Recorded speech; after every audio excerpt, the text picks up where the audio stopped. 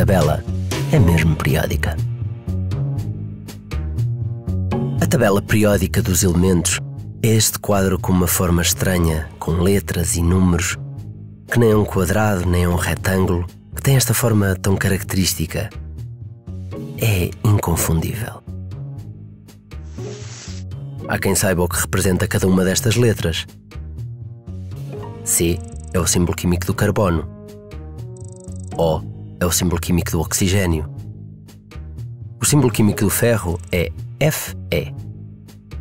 O do zinco é Zn. Há até quem saiba que o símbolo químico do sódio é Na, porque vem do latim natrium,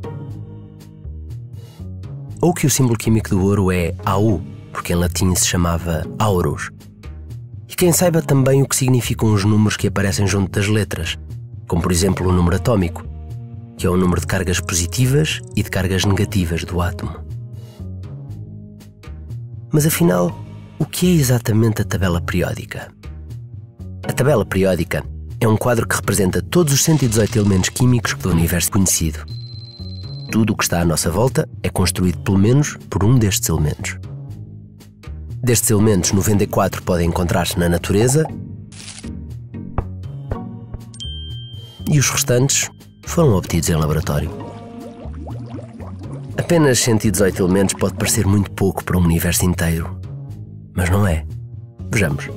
Nas estrelas, como o Sol, 94% de todos os seus átomos são átomos de hidrogênio.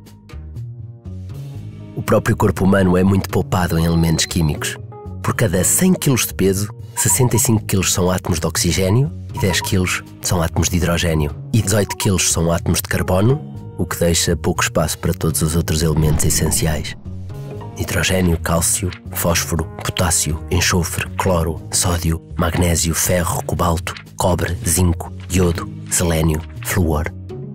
A maravilha dos elementos químicos é que eles se combinam entre si e há quase um número infinito de combinações possíveis que originam todos os compostos químicos diferentes necessários para nos manter vivos e para construir tudo o que nos rodeia. A água que bebemos, que se obtém por combinação de um átomo de oxigênio e dois de hidrogênio,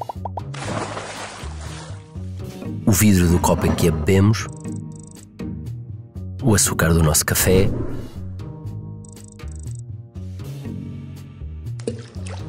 o café, a chávena e o metal da colher com que o mexemos,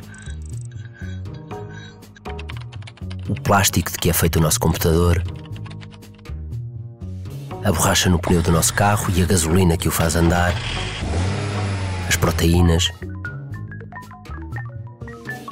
o ADN, tudo à nossa volta e dentro de nós são átomos que se combinam. Um átomo é a divisão mais pequena reconhecida de um elemento químico e é composto por um núcleo central, com protões de carga positiva e neutrões sem carga, rodeado por uma nuvem de eletrões de carga negativa.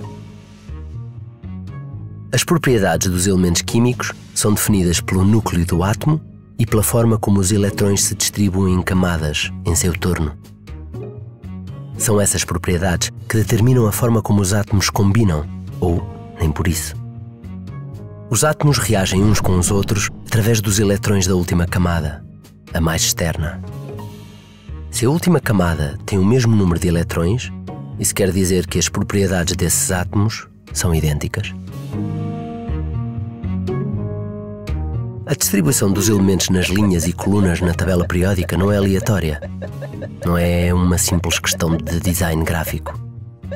A posição de um elemento na tabela periódica diz-nos algo sobre as suas propriedades químicas e materiais e ajuda-nos a perceber e a prever como dois elementos se podem combinar. A tabela periódica organiza os elementos a partir do menor para o maior. de acordo com o seu núcleo e com a distribuição dos eletrões.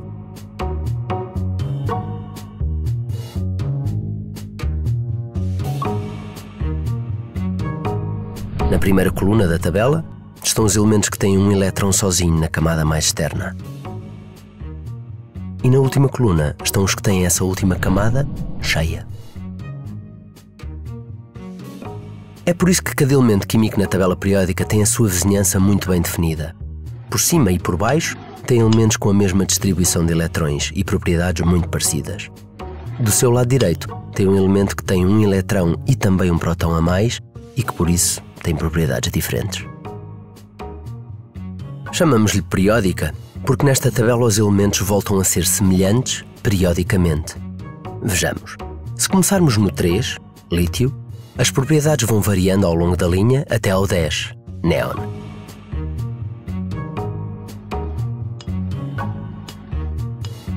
Aqui, a última camada de eletrões fica cheia. Logo, passamos para a linha seguinte e voltamos à primeira coluna. As propriedades deste elemento no 11, sódio, voltam a ser idênticas ao elemento que está diretamente acima, o lítio, e assim sucessivamente.